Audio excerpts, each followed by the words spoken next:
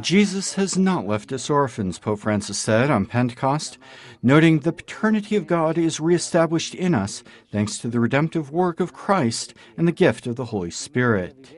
Jesus renews our relationship with the Father, which was ruined by sin. We are no longer orphans. We have been restored to the condition of children. With these words, Pope Francis described the mission of Jesus in his homily for Pentecost during Mass at St. Peter's Basilica.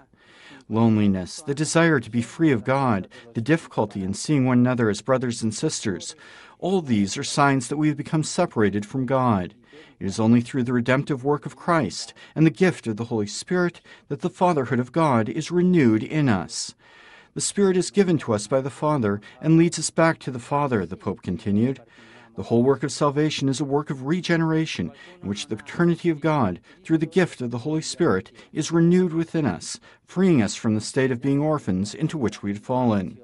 From the immense gift of love that is the death of Jesus on the cross, accomplished for all humanity, comes an immense wave of grace, the pouring out of the Holy Spirit.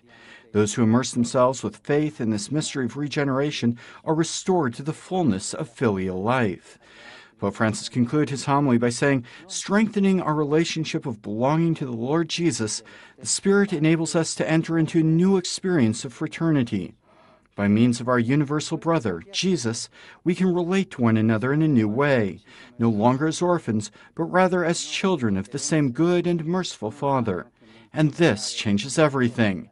We can see each other as brothers and sisters whose differences can only increase our joy and wonder at sharing in this unique fatherhood and brotherhood.